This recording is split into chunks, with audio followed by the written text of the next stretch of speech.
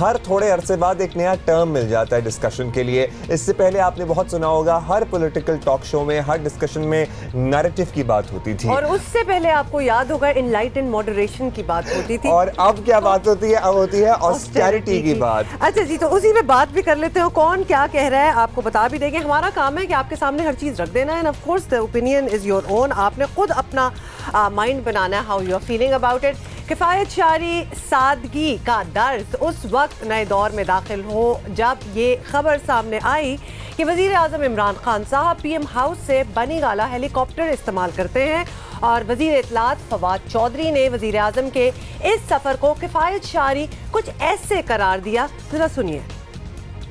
پچپن روپے کلو metre Google کیا تھا؟ میں نے بھی گوگل کیا تھا آپ بھی کر لیں جی۔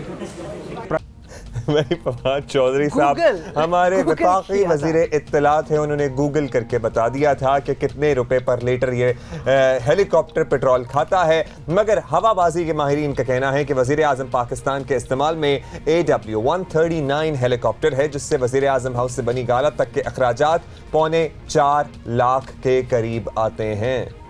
منسٹر جو ہیلی کاپٹر یوز کرتے ہیں وہ ہے A W one three nine یہ جو پر آر ہے تین لاکھ ستر ہزار اور نو سو روپے ہے۔ دیکھیں یہ جو کاسٹ ہوتی ہے، یہ ہوتی ہے جب ہیلی کاپٹر سٹارٹ اپ کرتا ہے اور سوئچ آف کرتا ہے۔ تو یہ پورا جو پروسیس ہوتا ہے، اس میں ہم کاسٹ ورک آؤٹ کرتے ہیں۔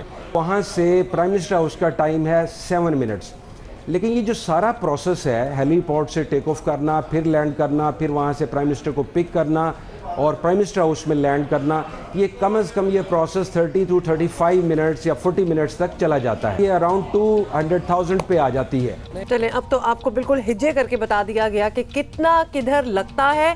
جب فواد چودھری سے اس سستی سواری پر مزید سوالات کیے گئے تو انہوں نے جواب کچھ ایسا دیا اب یہ بھی سن لیں۔ نہیں آپ کا کہنے کا مطلب ہے پرائم منسٹر کو اوبر کار پہ آنا چاہیے۔